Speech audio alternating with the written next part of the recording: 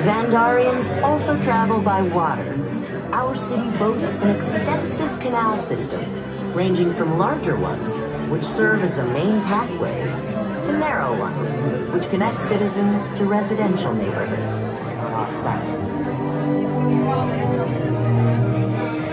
On Xandar, we are never far removed from the natural world. and Caring for the environment is one of our core principles.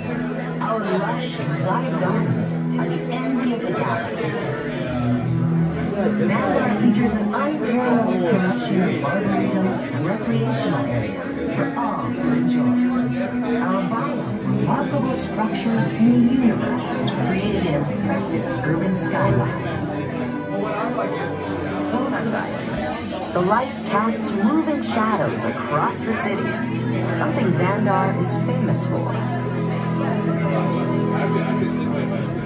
As the capital of the Nova Empire, Xandar is home to over 12 billion citizens.